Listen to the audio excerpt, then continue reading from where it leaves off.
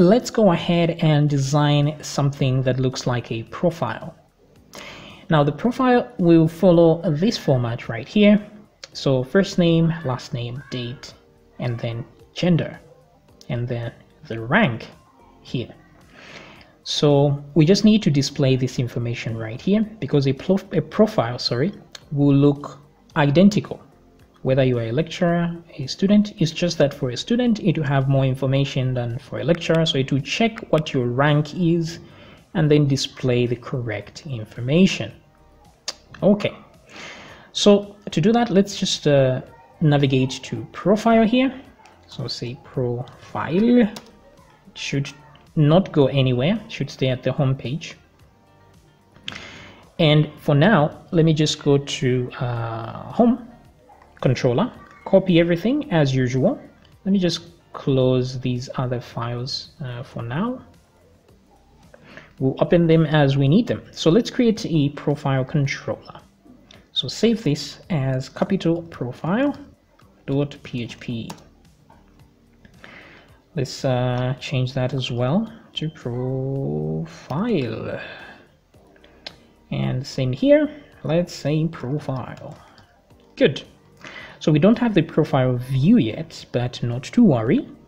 We're just going to go on the home, copy what's here, right click on views, new file, paste, save this as profile.view.php.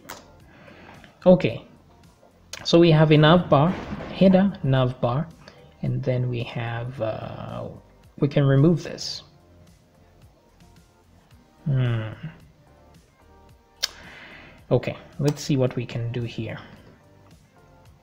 So this is a container fluid, um, which means it's 100% width, but I want to add a few styles here.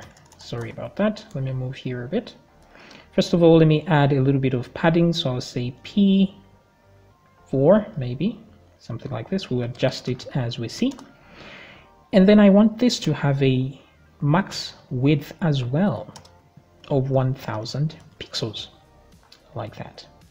Okay so max width 1000 pixels. Um, what else here? Let me add a shadow. I like these shadows.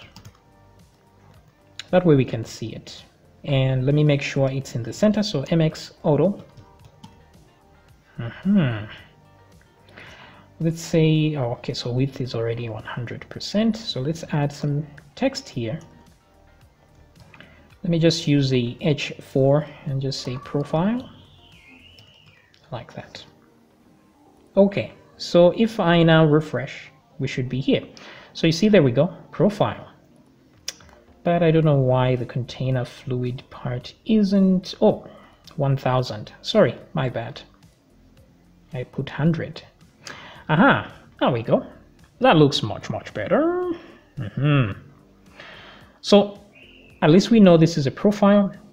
Let's use some breadcrumbs. So if you go to Bootstrap here and um, you click on breadcrumbs, where is breadcrumbs? Right here on components. So this is the breadcrumb I chose. So this is right at the very top. Breadcrumbs is very short. So it's going to look something like this. This is just to show us where we are on the page, right? Mm -hmm. So instead, I'm going to add a new view inside the includes here, right click, new view, paste like so, and then save as uh, bread. Eh, maybe let's save it as crumbs, crumbs.view.php. Too lazy to type the whole thing. Then now I can duplicate this and change this nav to crumbs like so. Okay, at least now we have, um, let me come back here. We have some breadcrumbs. Yes, yes. Unfortunately, they're in the wrong place. So let's add them here instead. Okay, so refresh. There we go. Much, much better. Yes. Now, if you want to center these breadcrumbs, no problem. If I go to the crumbs themselves, uh, which is where exactly includes crumbs. This one, I can just say justify uh, content center hopefully that works if it doesn't work here just keep moving it to a different element and see which of them qualifies okay that's much better so at least we have navigation. And then that's the profile. And then from there let's add two uh, so let me close this crumbs we're going to deal with this later. So I just want to add a uh, another div to hold two divs. First div here. Okay let me do that. And second div. So this first one will have a style, no, no, not a style, a class of row. That way, both of these are on the same, uh, in one container. And then let me add a class of column to tell it that each of these is a column. And then this one, I'll say auto. That way the width is automatic. Let me add some text here and some text there so you can see them. Let me come back here, refresh. So you see there's one item here, there's another one here. So for you to see where one of these starts and one where the other ends, I can add a class, let's say BG secondary.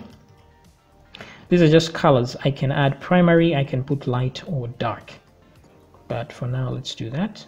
Okay, so you see this where it is, that's where it is. This one is auto and it's going to be automatic to the text content but I want this one to have a fixed width so that this one can stretch to meet it somewhere here.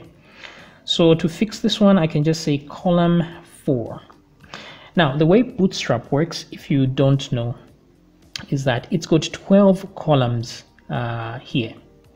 So when I say call 4, I'm saying this should occupy 4 columns of those 12. So no matter the size of the window, if I re resize this responsive view. Even if the thing is here, it still has 12 columns. That's how they designed it. So 12 columns. So if I say, so that you can imagine that the four columns on this view are very different in size to the four columns on this size, right? This is much bigger. So you can keep adjusting the number of columns depending on the breakpoint. So there are these things called breakpoints where if you hit a certain width then it switches to a different size.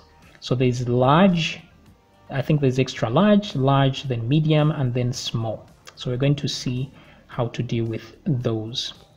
So here I'm just telling it to occupy four columns. So as you can see now, it's occupying four columns. This one is occupying the rest, or it should at least in principle. So column, um, why is this not occupying? Okay so it's following the content. Hmm. I don't know how I feel about that but let's just divide this by 12 so if if we remove 4 from 12 we have uh, 8 right? So let's just tell this one to be on 8 like so. Okay so at least they are sharing equally now. We have 4 and we have 8 here. I think I like that a little bit better. Okay so now that we are there let's add an image here now I have gone ahead and downloaded a few images which you will find in the link in the description. Inside assets where we had the logo, we have now no image when there's no image. We have user female, we have user male.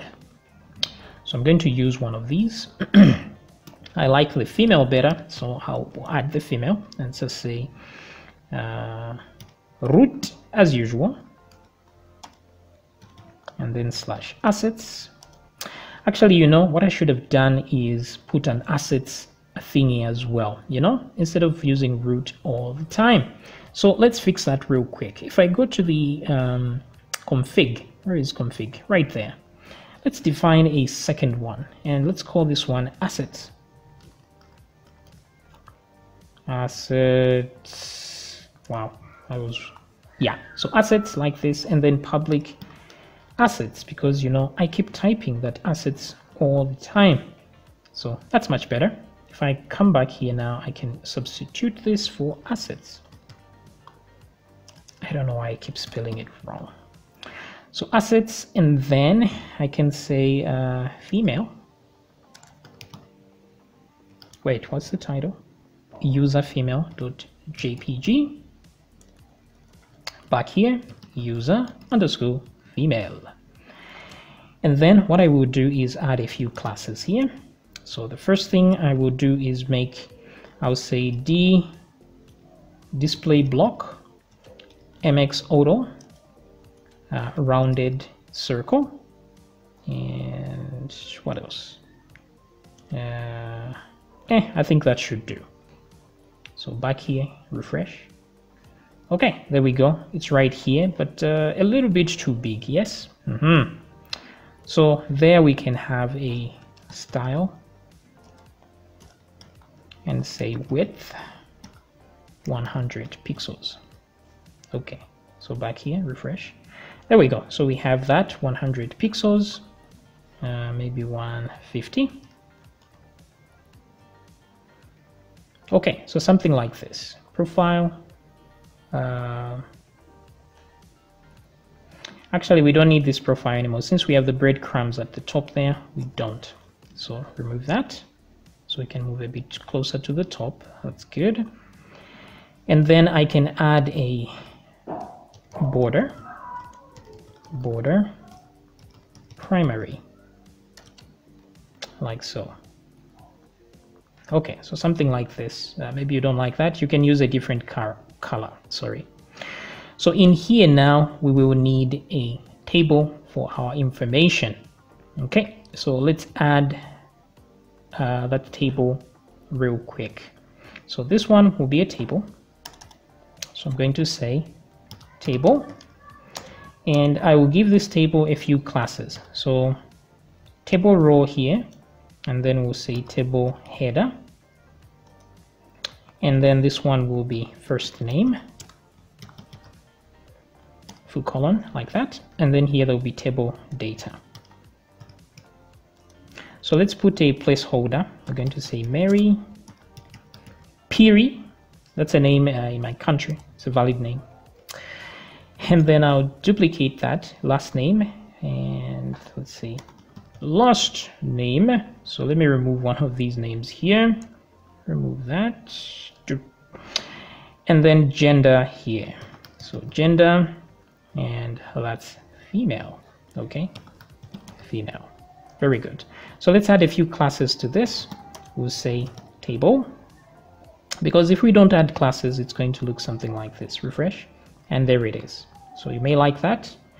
Let me change the background as well to light here. That was just for visual purposes. And then I'll say padding uh, 2 just so we can we are not right on the edge. Okay, so first name, etc, uh, etc. Et now I want to add the table thingy here and you see it looks much much better like this. So I can add also table uh, what can I say table hover table striped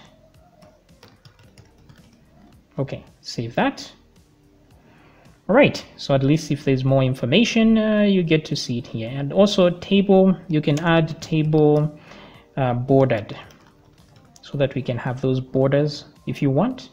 Yeah so those lines there. Okay so at least we have our user and we have something here. And then finally what we will do to finish this off uh, right after both of these row uh, div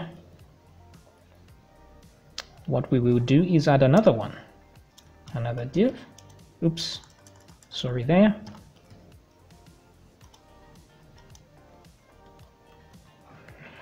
for our content down here Okay, so for now we're going to end here. We have our user profile. Let's see how well it responds in responsive mode. There we go. So not so well here. Mm hmm I see. Okay, so we're going to know how to fix that in the next video. I want this to move down here when it reaches a certain breakpoint. Okay, Alright, so we'll fix that in the next video.